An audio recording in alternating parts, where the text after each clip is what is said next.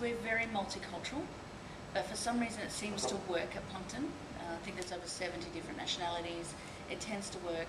The challenges are really the students just not engaging with anything in that we offer. We do the mock interviews where we try and interview every year 10 kid at least once to get them used to what a job interview is, and we just have those refusals. Kids to say, I don't want to do it.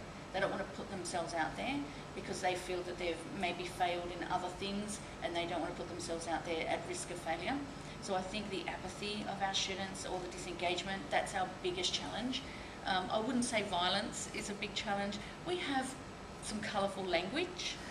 Um, however, I have noticed that when the students are around their business mentors, you, they don't seem to swear. I think they know when, I think they feel it's appropriate to swear in front of a teacher. However, someone from business, we can't swear in front of. They, they get the difference. They really do, and they're very respectful when the business mentors come in. But that's our biggest challenge is the apathy, just the disengagement, where we're fighting years and years of unemployment that they've noticed in their families, and we're really trying to reverse that, get that culture changed.